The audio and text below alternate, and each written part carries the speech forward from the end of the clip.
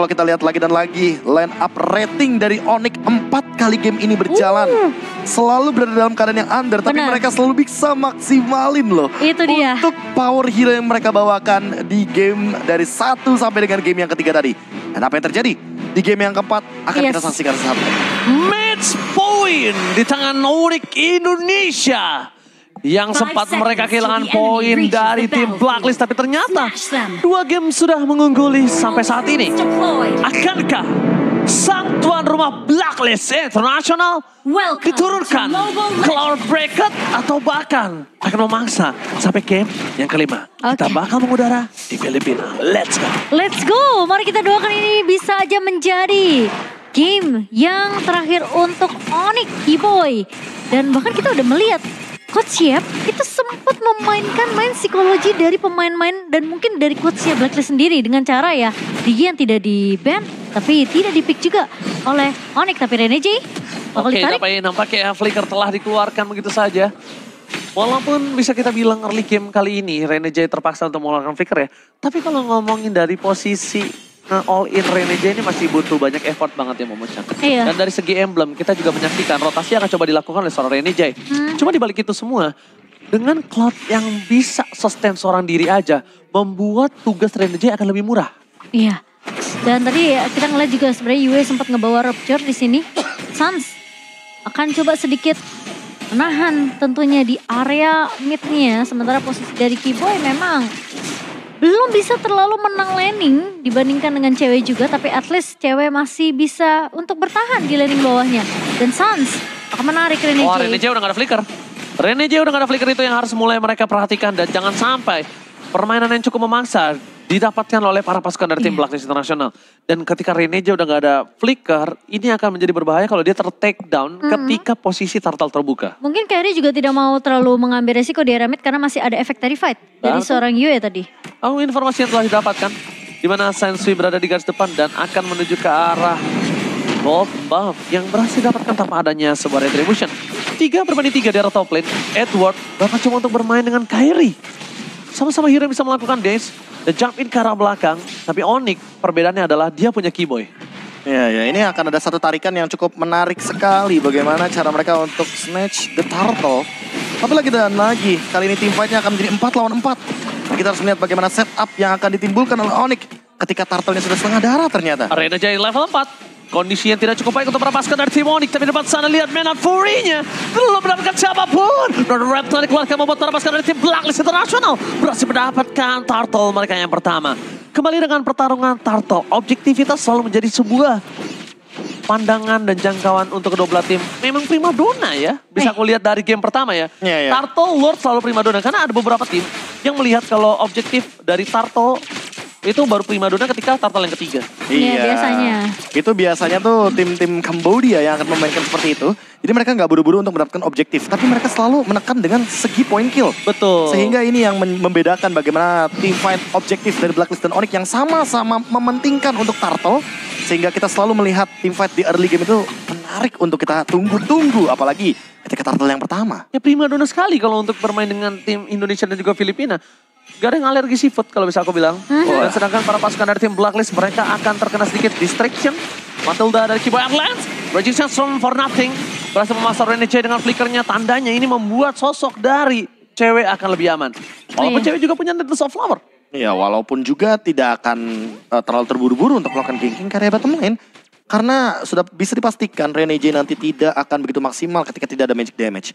Namun kalau kita lihat dari item Corrosion Sight yang sudah diamankan terlebih dahulu. Dan bahkan Sans yang di all in sepertinya. Dengan gerakan cepat dari Edward dan juga Rene J walaupun tidak ada flicker. Itu dia perbandingannya Momo-chan. Kalau sadar. Sans lebih memilih stacknya hilang. Mhm. Ketimbang dia harus menggunakan flickernya. Betul betul dan bahkan ngunain satu buah ini ya ke altar eh, atau mungkin ada drumnya ya. Ditahan banget sama dia. Ditahan bener-bener. Di mana dicari di mana yang paling kecil cooldownnya. Betul, dia tahu mungkin pasifnya yang bisa membuat dia tentunya revive lebih cepat.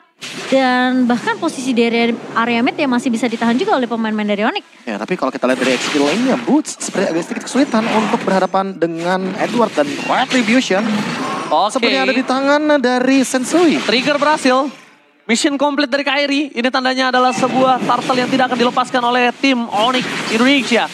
Kyrie udah mulai harus dispeksi damage sama Edward. Ini nggak bisa dibendung berasa ya. Vengeance terlalu sakit Profesor. Hmm, Vengeance dengan passive stack udah pasti bakal double damage. Dan kali ini terkena zoning out yang lumayan banyak dan membuat Keyboy harus lebih berhati-hati. Walaupun tadi ada retribution yang digunakan, tapi pressure dari Blacklist International itu nggak lepas. Melepaskan lagi turtle-nya. Berarti tandanya bukan itu target utama yang mereka inginkan. Ketika permainan dari tim Onyx Indonesia berhasil memancing trigger. Karena kalau menurut aku dia ingin tidak menuju ke arah perebutan objektif turtle. Itu purple buff yang cukup efektif untuk ngedinai pergerakan Sun Tzu. Aku kira bakal ada momen Keyboy tiba-tiba mencuri dengan Soul Bloom tadi. Ternyata nggak connect ke arah turtle-nya dan satu circling eagle yang dibuka hanya untuk membuka vision juga bagi Blacklist International di area mid lane-nya. Tapi ini persis kayak game pertama gak sih? Yang di mana Blacklist memang mereka berhasil untuk dapetin perfect turtle ya. Tapi Onyx bener-bener ngasih space ke arah cewek untuk bisa farming. Iya. Dan ini benar-benar jadi game yang sama persis pressure dari Blacklist International betul-betul nyata adanya di early game dan membuat Onyx sedikit tertekan ketika kita berbicara dari tiga game yang sudah kita mainkan sebelumnya. Karena perbedaan network dari Ohep nih bersama dengan cewek cukup jauh ya. Karena Ohep sempat makanin dua lane juga tadi di area mid dan bahkan turtle, dua turtle yang diamankan oleh Blacklist. Membuat Ohep tentunya lebih unggul dari segi network. Ya dan kali ini Boots lagi-lagi harus benar-benar dalam keadaan yang tertekan melawan Edward dengan Arlotnya. Oh gagal. Gagal dapetin Yue. Tadi dia Phantom Execution-nya itu setidaknya bakal mancing Yue ngeluarin Netherrealm. Hmm. Atau flicker Atau sekalipun. flicker, iya. Ya, atau flicker sekalipun. Tapi nampaknya nggak nyampe ke arah ujung damage. Ghostbuster dari Suns ini mengerikan juga ya. Dia mancing terus, dia poking terus. Cuma mungkin adalah eh, ketika nggak ada Shadow Stampede.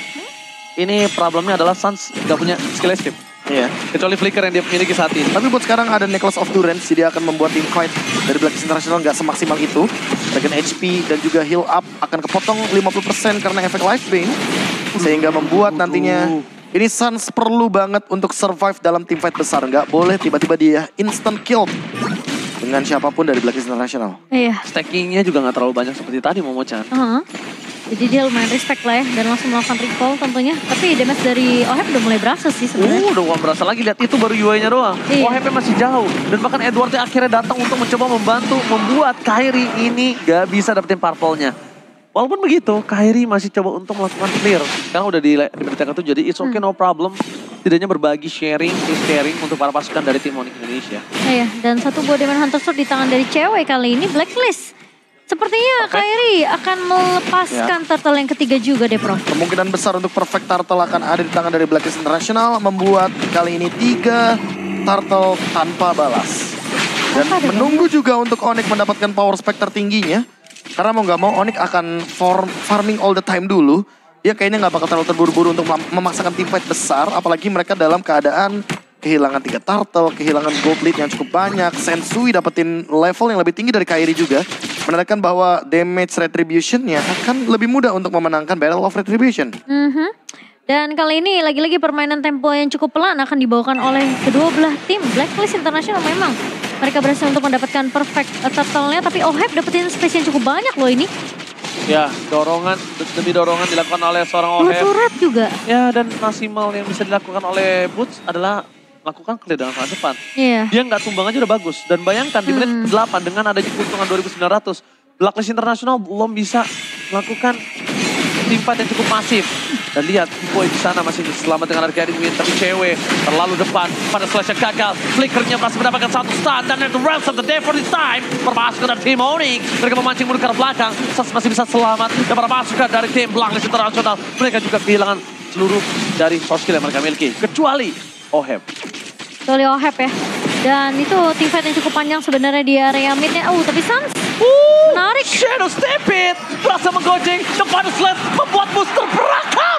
Final Slash super trap from Edward. On play from Edward. Wah, padahal dari Ki, eh, Boot sendiri tadi hampir aja bisa di follow, tapi kali ini Circling Eagle dari Hanya untuk memicu saja bagaimana mapping yang bisa dimanfaatkan oleh Blacklist International di area top lane. Four man move dari Blacklist kali ini dengan gerakan ofensif karena ada satu cloud di sana. Berarti mereka ingin team fight 5 lawan 5 sebenarnya Cimomo karena Oke. damage-nya cukup untuk menumbangkan base turret. Uh, lihat. Oke, blessing to add from Mohab. Damage-nya masih terlalu bisa ditahan. Tapi Kiboy, Kiboy ter-take down. Gak bisa diselamatkan. Ternyata aku kira damage-nya akan cukup membuat Kiboy mundur ke arah belakang loh, Be. Ya, fadeaway kill yang didapatkan dari BMI Oh, dengan iya. Dexter sebagai takedown kill terakhirnya. Walaupun kali ini harus merelakan retribution-nya, Onyx akan memberikan Lord ini secara gratis kepada Blacklist International. Oke. Masih lot yang pertama memang. Tapi memang dengan permainan yang cukup agresif ya dari Oheb sendiri karena kita ngeliat juga Oheb di sini menang dari segi level dengan perfect turtle yang didapatkan oleh pemain-pemain dari Blacklist dan Ini dia. Dan segi itemnya juga. itemnya jauh banget Uh, bahkan langsung KB. mau ke Windtalker kayaknya dari Oheb. Oh, perbandingan 2400 gold itu tidak cukup baik untuk seorang gold laner. Paramis lagi-lagi sama eh, di tangan dari seorang Yue. Tidak akan ada Netherrealm untuk satu sisi saja, tapi untuk kedua belah sisi untuk kali ini. Masih. Ini masif banget sih bakal jadi Lord yang pertamanya. Kecuali kalau misalkan Onyx mampu untuk mempertahankan bagaimana high ground defense-nya dan mungkin akan jadi mirip seperti game kedua dan game yang ketiga. Oke, nampaknya Kairi depan sana mencoba fokus menuju ke seorang Yue. Netherrealm telah dikeluarkan dan lihat, cewek udah terbuka. Belum ada cross bolting. Bermasuk ke arah Timoni, mereka terjepit. Lazim Red from Mohem free. Membuat cewek ter-take down. Bahkan Edward masih mau menepi menuju ke arah Booth. Netherrealm mau tidak mau dikeluarkan oleh seorang Sans untuk menyelamatkan sisa kawannya. Untuk mempertahankan turret dari amukan Lord di arah top lane. Oke, dan sekarang Lordnya sudah mulai bergerak masuk ke area atas. Tiga pemain dari Onyx. Mereka harusnya masih bisa untuk menahan Lord ini meskipun mereka harus kehilangan turret di area atas. Dan pergerakan dari Blacklist International. Kali ini mereka masih memberikan pressure yang tidak berhenti, Profesor. Iya. Dan gimana caranya dari Onyx, cewek yang ternyata nggak dikasih kesempatan tadi untuk bisa terbang ke atas. Iya, apalagi Levelnya beda terkena tiga loh. spin. Iya, makanya. Dan kalau kita lihat juga dari full item yang tadi udah sempat kita mention Windtalker.